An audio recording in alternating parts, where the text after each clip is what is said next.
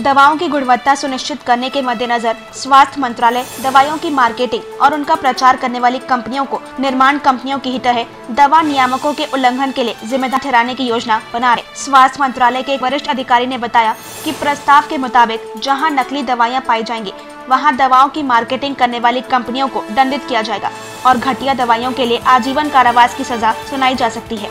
इस समय अगर उल्लंघन किया जाता है तो केवल निर्माताओं को जिम्मेदार ठहराया जाता है। बड़ी दवाई कंपनियाँ केवल उन दवाओं को बाज़ार में पेश करती है, जिन्हें वे सस्ते दामों पर छोटी कंपनियों से बनवाती है। दवा मार्केटिंग कंपनियों को कानूनों के किसी भी उल्लंघन के लिए उत्तरदायी ठहराने के लिए औषधि और प्रसाधन सामग्री अधिनियम को संशोधित किया जाएगा, ताकि निर्माण और मार्केटिंग दोनों कंपनियों के खिलाफ कानूनी कार्रवाई की जा सके। प्रस्ताव के तहत उल्लंघन के मामलों में दवाइयों के मार्केटिंग कंपनियों को दंडित किया जाएगा।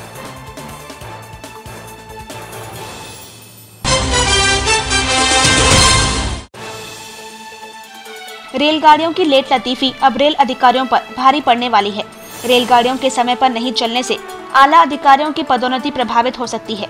रेल मंत्री पीयूष गोयल ने रेलवे के जोनल प्रमुखों को आगाह किया है कि रेल सेवाओं में देरी का असर उनके प्रदर्शन मूल्यांकन में आंशिक देरी के रूप में हो सकता है। इससे उन्हें इन सेवाओं में अनुशासन सुधारने के लिए एक महीने का समय मिला है। मंत्री ने कहा कि रेल सेवाओं में देरी के लिए अधिकारी रख रखाव काम का बहाना नहीं बना सकते।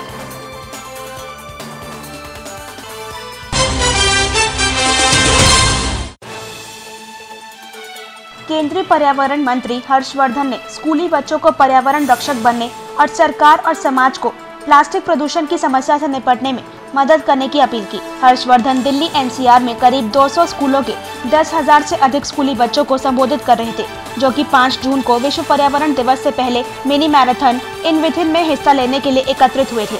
केंद्रीय मंत्री हर्षवर्धन ने किसी भी सामाजिक प्रयास में स्कूली बच्चों से पर्यावरण रक्षक बनने और समाज को प्लास्टिक प्रदूषण से निपटने में मदद करने की अपील की।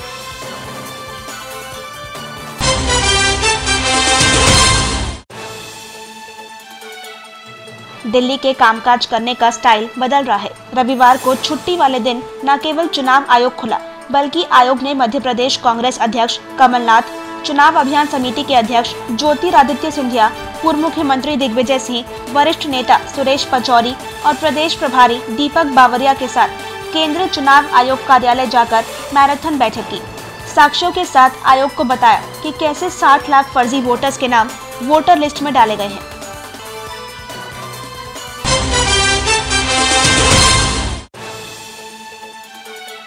आम आदमी पार्टी के नेताओं और राजनीतिक पर्यवेक्षकों का कहना है कि 2019 के आम चुनाव के लिए माहौल बनने की शुरुआत के साथ ही दिल्ली के मुख्यमंत्री केजरीवाल सावधानी के साथ राजनीतिक खेल खेलते प्रतीत हो रहे हैं और उन्होंने प्रधानमंत्री नरेंद्र मोदी पर हमलों की अपनी रणनीति में बदलाव कर लिया है। 2017 में पंजाब में आम आदमी पार्टी के खराब प्रदर्शन और यूपी में भाजपा के द्वारा अन्य दलों का सुपड़ा साफ़ कर दिए जाने के बाद केजरीवाल ने प्रधानमंत्री मोदी पर अपने हमलों की तीव्रता कम करने का फैसला किया था।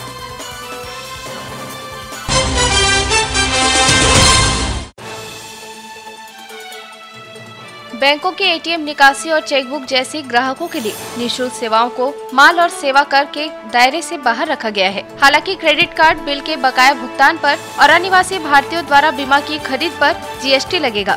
राजस्व विभाग ने बैंकिंग, बीमा और शेयर ब्रोकर सेवाओं पर जीएसटी लागू होने के संबंध में बार बार उठने वाले प्रश्नों का निवारण जारी कर इस संबंध में स्पष्टीकरण दिया है। विभाग ने कहा कि प्रभुतिकरण और वायदा सौदे से जुड़े लेन देन को भी जीएसटी दायरे से बाहर रखा गया है।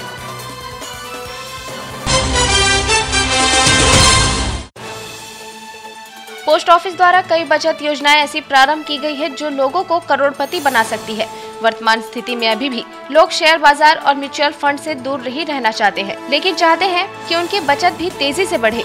यह मौका पोस्ट ऑफ़िस देता है। यहाँ पर कई बचत योजनाएँ हैं जो लोगों को करोड़पति भी बना सकती है। ये बचत योजनाएँ लोगों को इनकम टैक्स बचाने में भी मदद करती है। Public provident fund post office की एक ऐसी योजना है जो लोगों की थोड़ी थोड़ी बचत को बड़ा बना देती है। इस अकाउंट में जमा होने वाले पैसे पर ब्याज के अलावा दो लाभ और भी मिलते हैं। एक है इनकम टैक्स से बचत और दूसरा लाभ है, जब यह पैसा मिलता है तो पूरा टैक्स फ्री होता है। अगर कोई इस योजना में निवेश करके एक करोड़ रुपए का फंड तैयार कर लेता है तो उसको मेच्योरिटी वाले साल में कोई टैक्स नहीं देना होगा।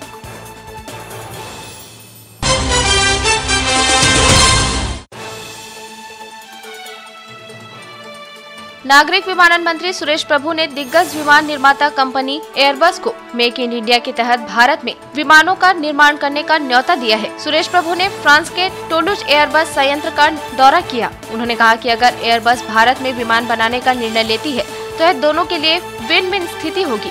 हाल ही में मंत्री ने कहा था की मैं एयरबस के शीर्ष मालिकों से मिलूँगा और भारत में एयरक्राफ्ट बनाने के लिए उनसे अनुरोध करूँगा। फ्रांस में भारतीय दूतावास की ओर से भी प्रभु के दौरे को लेकर ट्वीट किया गया। दूतावास ने जानकारी दी कि मंत्री ने टोलुज में पैसेंजर प्लेन के निर्माण को देखा।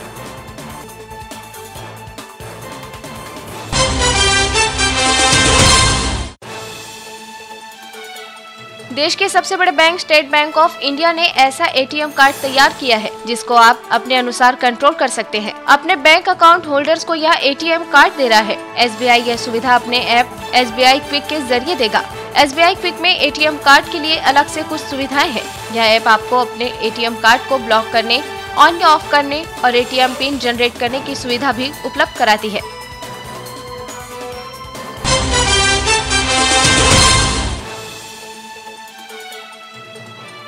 देश भर के पूर्व मुख्यमंत्रियों को दिए गए सरकारी बंगले खाली करने संबंधी आदेश के दायरे में छत्तीसगढ़ के पूर्व मुख्यमंत्री अजीत जोगी का सागौन बंगला भी शामिल है। अदालत का आदेश आने के बाद जोगी ने कुछ दिनों पहले ही मुख्यमंत्री डॉक्टर रमन सिंह को एक पत्र लिखकर सागौन बंगला अपनी विधायक पत्नी डॉक्टर रेणु जोगी के नाम आवंटित करने का आग्रह किया है। इस मामले को लेकर डॉक्टर रेणु जोगी ने कहा कि इस मामले में अभी उनका ध्यान नहीं है। सरकार चाहे तो आवंटन करे या नहीं तो बंगला खाली भी कर सकते हैं। इधर राज्य के संपदा विभाग ने इस मामले में कोई कार्रवाई नहीं की है। देश की सियासत में इस समय पूर्व मुख्यमंत्रियों को दिए गए बंगले खाली कराने का मामला जोरों पर है। कुछ राज्यों में पूर्व मुख्यमंत्री की हैसियत से बंगला हासिल करने वाले नेता सरकारी बंगला छोड़कर जा रहे हैं। इधर छत्तीसगढ़ में पूर्व मुख्यमंत्री ही अकेले नेता है, जिन्हें पूर्व मुख्यमंत्री के रूप में सिविल लाइन स्थित सागोन बंगला आवंटित किया गया था। इस बंगले में वे अपनी विधायक पत्नी डॉक्टर रेणु जोगी और पुत्र अमित जोगी के साथ रहते हैं। कुछ समय पहले जब बंगला खाली करने संबंधी अदालत का आदेश आया था, तभी इस मामले को लेकर अजीत जोगी ने मामले में स्थिति साफ़ कर दी थी।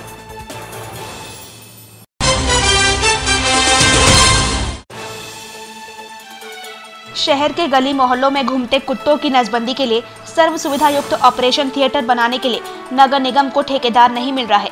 दो बार ऑनलाइन टेंडर करने के बावजूद केवल एक कंपनी ने ही इसका ठेका लेने में रुचि दिखाई है। सिंगल टेंडर आने की वजह से अब तीसरी बार फिर से टेंडर जारी किया जा रहा है। रायपुर नगर निगम क्षेत्र में करीब चार महीना पूर्व ही कुत्ते काटने की घटनाएँ बढ़ गई थी। इसकी वजह से गली मोहल्लों में घूमने वाले कुत्तों से नागरिक परेशान हो गए थे और डॉग बाइट की आशंका से भयभीत भी हो रहे थे। चौतरफा शिकायत बढ़ने के बाद निगम ने महाराष्ट्र की कंपनी को कुत्ते पकड़ने और उसकी नसबंदी कराने का ठेका दिया था। इसके अलावा राज्य शासन से दो डॉक्टरों को प्रतिनियुक्ति पर पशु चिकित्सालय में कुत्तों की नसबंदी के लिए पदस्थ किया गया था। निगम के बजट में कुत्तों की नसबंदी के लिए हाइजेनिक ऑपरेशन थिएटर का निर्माण कराने का प्रस्ताव भी किया गया है। दो महीने से अधिक समय हो गया, लेकिन कुत्तों की नसबंदी के लिए ऑपरेशन थिएटर बनाने का ठेका नहीं दिया जा सका है। निगम के आधिकारिक सूत्रों के मुताबिक ऑपरेशन थिएटर बनाने के लिए दो बार ऑनलाइन टेंडर किया गया था, जिसमें लखनऊ की ही एक कंपनी ने दोनों बार अकेले टेंडर भरा था। ऑपरेशन थिएटर निर्माण के लिए अन्य ठेका कंपनियाँ सामने क्यों नहीं आ रही हैं? ये निगम के अफसर भी समझ नहीं पा रहे हैं।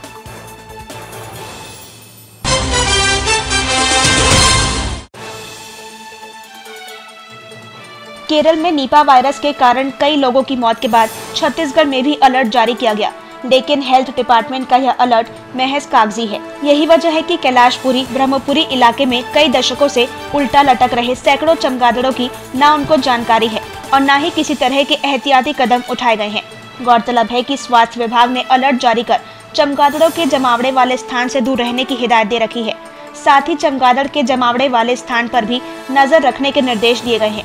लेकिन राजधानी के मध्य स्थित कैलाशपुरी और ब्रह्मपुरी इलाके में कई दशकों से चमगादड़ों का आशियाना बना हुआ है। अमूमन यहाँ हर पेड़ पर सैकड़ों की संख्या में चमगादड़ दिन रात लटकते दिखाई देते हैं। आसपास के रहवासी आज भी निश्चिंतता के साथ वहाँ निवासरत है।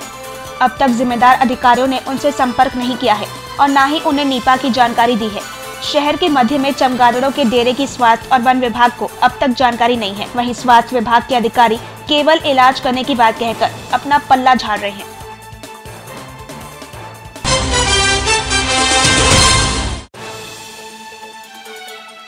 एस जोन से गुजरने वाली दर्जन भर यात्री ट्रेनें देर से चल रही हैं। रेल मंत्री ने चेतावनी दी है कि ट्रेन लेट होने पर अधिकारियों पर कार्रवाई होगी रोज़ाना कई ट्रेनें समय पर नहीं पहुँच रही हैं, जिससे यात्रियों को काफ़ी परेशानियाँ झेलनी पड़ती हैं और समय भी बेकार जाता है प्रदेश की राजधानी रायपुर मुख्यालय के जंक्शन पर ही दर्जन भर ट्रेनें लेट पहुँचती हैं। केंद्र सरकार के रेल मंत्री पीयूष गोयल ने रेल व्यवस्था में सुधार लाने के लिए सभी जोनल अधिकारियों को चेतावनी दी है कि ट्रेनों के परिचालन में विलम्ब होने पर जिम्मेदार अधिकारियों के खिलाफ कार्रवाई की जाएगी।